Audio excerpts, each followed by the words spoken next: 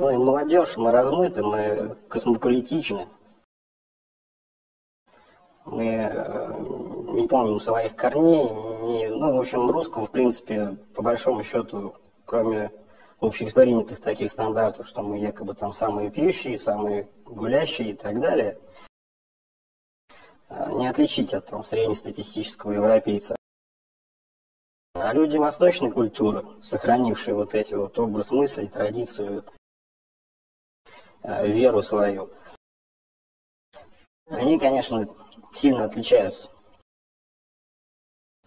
И их это очень сильно консолидирует и придает силы.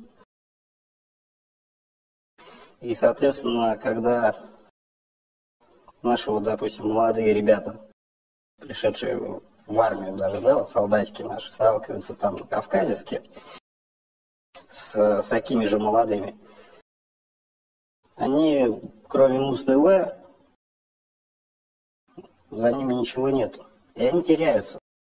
Теряются просто вот на... Не все, естественно, а там менталитет другой, они давят психологически.